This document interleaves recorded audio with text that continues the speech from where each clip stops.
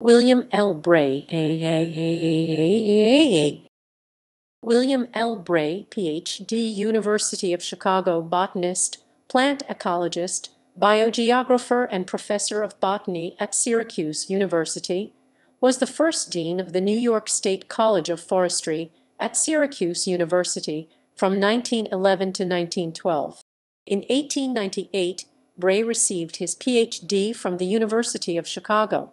In 1907 he was made head of the botany department at Syracuse, and in 1908 started teaching a forestry course in the basement of Lyman Hall.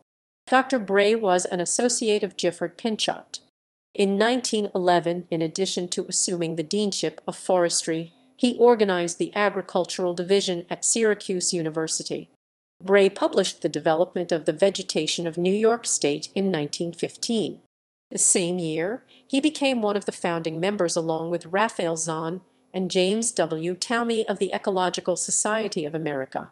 In 1950, the 1917 activist wing of that society formed today's The Nature Conservancy.